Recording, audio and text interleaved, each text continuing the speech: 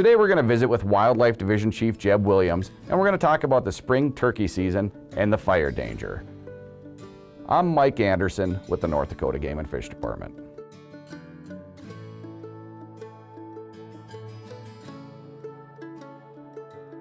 Jeb, the spring turkey season opens April 10th and we want to remind hunters how dry it is.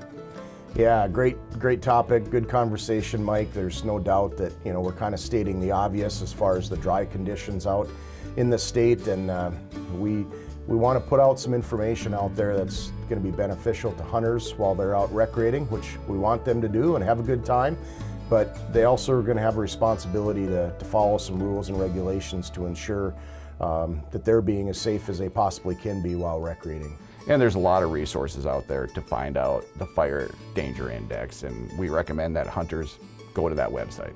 Absolutely. So if, if there's one thing that people can take away from this discussion, it's ndresponse.gov.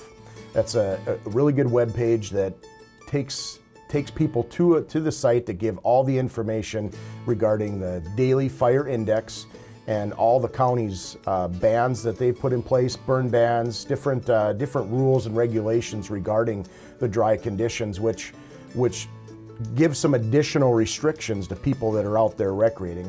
Yeah, just a little bit of common sense could prevent a lot of these fires from happening. Well, for sure, and you know the the good thing is, is you know uh, hunters in general have a good track record in North Dakota of you know not being the cause of, of fires, of wildfires, but we want to keep it that way. And one way to do that is to make people aware of, uh, of conditions and, you know, they have that education that they need to be able to be, you know, best prepared when they can when they're, when they're recreating in the outdoors. Jeb, do you recommend anything for hunters to keep in their vehicles that would help if an accidental fire would happen?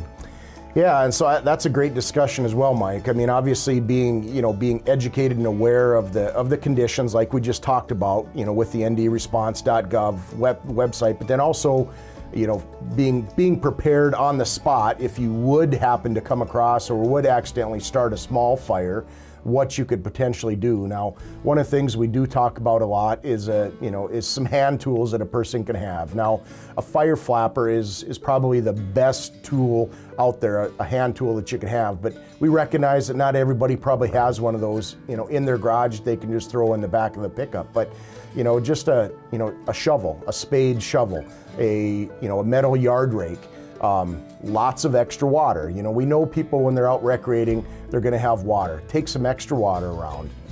You know, I, one of the common things that people do probably have around their house or, you know, maybe in their boat that they could take out quickly is a fire extinguisher.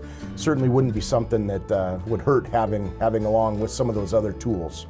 Um, you know, those are some things that can help, you know, with the smaller type situations that we hope you, people don't come across, but if you do, that they're prepared for that. And the the, probably the most important thing nowadays, and, mo and, most everybody has one, is a cell phone. Um, if you get into a situation where obviously you're, you, you've came, came across a bigger fire, you know, the small things that you probably have with you aren't probably going to be enough. And so you need to call that in. And so what's important about that is sometimes when people see smoke, they maybe think somebody else has already called that in. Don't assume that that is the case. Um, people have cell phones, um, and that's been a very good thing for, you know, for fires, for example, for reporting different incidents out there. And so make sure that people are aware about that. And if they do see smoke, they do see an incident, please call that in. Jeb, extremely dry. We've had some pretty big fires, especially out west. We have, and so it's not uncommon, Mike, for us to be dry in North Dakota in the spring and the fall, those types of things. So we again, that concern is, it's, it's not uncommon for the concern to be there. However, one of the things that's different this year is we have had, there have been some fires and some pretty sizable fires, especially in the western part of the state, but, but really scattered out throughout the state. And so there's some real life examples out there of people that are very concerned about additional activity going on in the rural areas. And so they're right to be concerned about that. How, how could you not be when your livelihood is based on grass in a lot of these conditions? And there are some examples going on out there where that grass uh, can be gone very quickly. And so it, we've had a lot of conversations this week with people wanting to visit about this, wanting to visit about turkey season and, and the additional activity that's going to be going on in, in rural areas in North Dakota. And so we think it's, we hope this will be helpful of getting some additional information out to people about not only what people can do to be prepared, but just to be very understanding of the sensitivity and the concern out there from the from the, the, the, rural landscape in North Dakota as far as what kind of an impact that can have on someone's livelihood.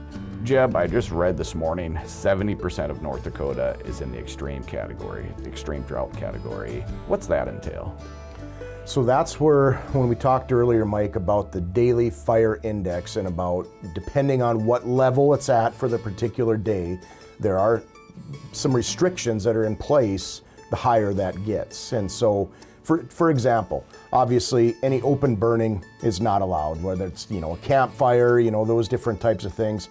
Also, that's covered with the county burn bans as well, where most counties do have a total burn ban in place. But more specifically on the, you know, the restrictions, like say smoking, for example, that's restricted to a vehicle or to a house those types of things. And I, you know, and I, again, it's just another good reminder out there. I mean, I think a lot of people comment about cigarette butts flying out windows and you know it's that's critical right now that that that that doesn't happen and so those are some examples of certain situations where there are quite a bit higher restrictions that are in place based on the higher the uh, the fire index gets.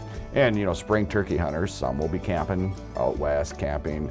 That means no campfires. Correct, and that, that is something that you know we know people enjoy uh, when they're out camping and, and, and hunting, but um, yeah, with burn, current burn bans in place and the daily fire index readings, that's, that's not, not allowed.